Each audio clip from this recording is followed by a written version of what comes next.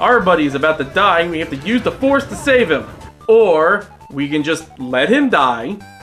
I mean, we are in hiding and there's a probe droid floating right there. So let's just like have nature take its course. No!